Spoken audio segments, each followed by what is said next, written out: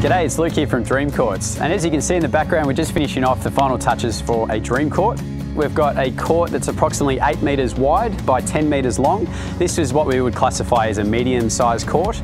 A lot of times in people's backyards, you know, they've got a lot of dead space where they actually don't know what to do with their space and their kids are inside on the iPads. These courts are fantastic for getting children off the technology, outside, playing games, especially basketball. We in fact do these installations all over the country, whether it be rural or metropolitan, there's no place too far for us to travel. The guys are just applying the edging just to picture frame finish the court. As you're entering onto a court, if you have a 15 mil or 19 mil lip of the tile, sometimes they can get caught under your foot. The edging is fantastic in regards to just finishing off a court aesthetically, but more importantly, it mitigates the potential of falling over and your head falling off.